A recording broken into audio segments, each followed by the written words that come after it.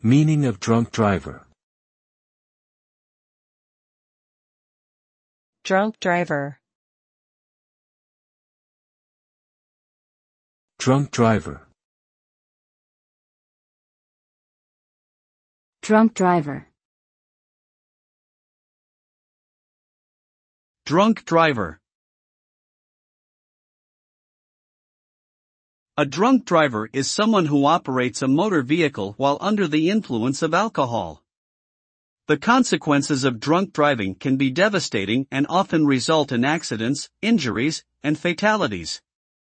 Drunk driving can impair a person's judgment, vision, and reaction time, making it more difficult to drive safely. Studies have shown that alcohol is a factor in a significant percentage of accidents on the road.